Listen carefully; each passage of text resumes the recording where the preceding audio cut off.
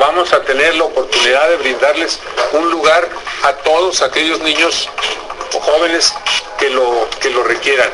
Vuelvo a insistir, no es necesario que los padres de familia vayan a hacer línea en las instituciones porque todos serán atendidos y todos tienen garantizado un lugar. Sin embargo, este primero de febrero así es como lucieron algunas escuelas que desde tempranas horas tenían a padres de familia haciendo fila para realizar este trámite. Desde las 3 de la mañana, sí, cupo y todo, pero hay que asegurar y al que madruga Dios le ayuda. Pues de hecho este es temprano para poder alcanzar un cupo, ya que pues los cupos son limitados y muy poca gente pues alcanza lugar. Por otro lado, escuelas como la primaria Carlos Monsiváis presentaron esta situación. Pues que nos, no nos quieren aceptar a nuestros hijos aquí, que porque no hay aula y que las bancas que tienen ahorita las tienen prestadas. Entonces este lo que nosotros queremos saber es de que pues mm, queremos en la mañana porque muchas de nosotros trabajamos en la tarde. No tenemos quien no lo recoja ni quien lo lleve. Entonces nosotros queremos saber si podrían ayudarnos en que, a que entren aquí en la mañana. Yo hice fila desde las 5 de la mañana, entonces llegó el, el director y nos dijo pues que ya no, que ya no iba a aceptar niños porque los cupos que había disponibles se llenaron con, con los hermanitos que tienen aquí. Pero aquí no termina el problema, pues como bien se dijo, de no haber espacios en la escuela deseada, serían reubicados en otras aledañas, mas no se contempló esta situación.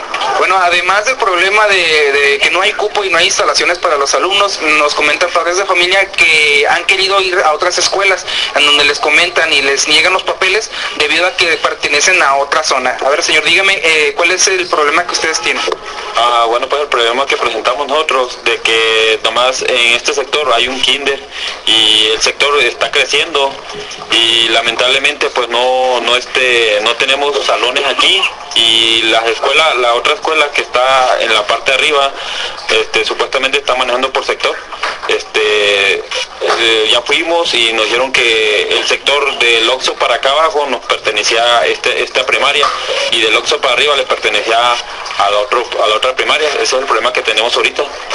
¿Y en este sector esta es la única primaria que existe? Sí, ahorita sí. Aunque por parte de los directivos de esta escuela se está en la completa disposición de ayudar a los padres, esto de nada sirve si no hay aulas.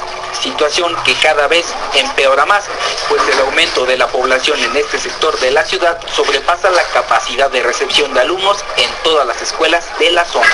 En el acercamiento con el preescolar de vecino nosotros van a egresar 120 alumnos, de los cuales nosotros vamos a recibir a 40 y el turno de la tarde a 80.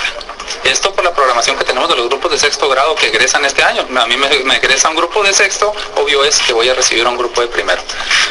Desgraciadamente estamos en una zona de una, de una concentración de gente bastante alta.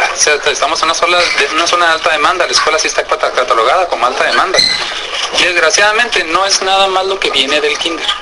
Es también las, las casas que se venden encerradas de Oriente, encerradas del parque, en parajes de, San Isidro, eh, etapa 2 y es mucha la población que tenemos para una escuela con tan pocas aulas. Desgraciadamente, y les explicaba a los padres de familia, los directores y, los supervisores incluso, incluso no tenemos facultades para crear aulas. Esta situación ha puesto a muchos padres entre la espada y la pared, pues al llenarse los espacios en el turno matutino se ven obligados a inscribir a sus hijos en la tarde, lo que conlleva buscar con quién dejarlos, pues por sus turnos de trabajo no pueden llevarlos a la escuela. En el momento en que estos espacios ya no sean suficientes, se pedirá un censo con la exigencia para, para la autoridad correspondiente, ¿no? Pero tenemos que agotar las instancias, tenemos que agotar los espacios que tenemos en ambos turnos. A pesar de que se han hecho inversiones importantes en cuestión educativa, el crecimiento de la ciudad debería de ser proporcional a la capacidad de atención de las escuelas. Ángel Martínez, Azteca Noticias.